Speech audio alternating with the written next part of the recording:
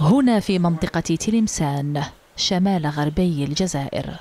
فتحت عائلة طالب العزاء في وفاة ابنها محمد ذي الأربعة والعشرين سنة على يد رصاص قناص في مدينة خاركيف شرقي أوكرانيا.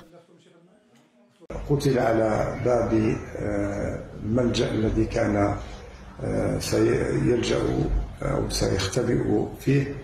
عندما كان عند الباب هو وزميل له يشمون شيئا من الهواء. وعلمت بالتفاصيل من خلال اتصال أحد زملائه الذي أعطاني التفاصيل وتأكدت بعد ذلك من خلال اتصالي بالسفارة وبالمناوب في السفارة الجزائرية في كييف وأكدوا لي خبر الوفاة. محمد طالب أكمل دراسته في أوكرانيا.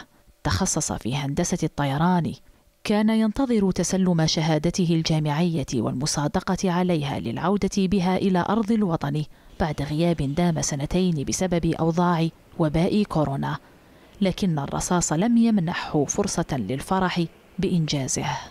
إحنا نجدوا وزارة الخارجية والسلطة العليا باش يجيبوا لنا هذا ولدنا وتطفى هذه الجمرة ويخلونا نريحوا يريحونا ويريحوا يريحونا ويريحوا هذا النساء وهذا العائلة كاع راها محروقة.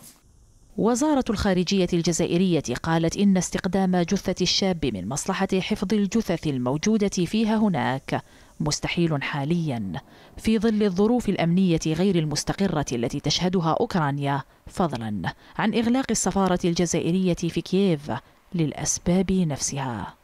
نهز رواطي سكاي نيوز عربية الجزائر.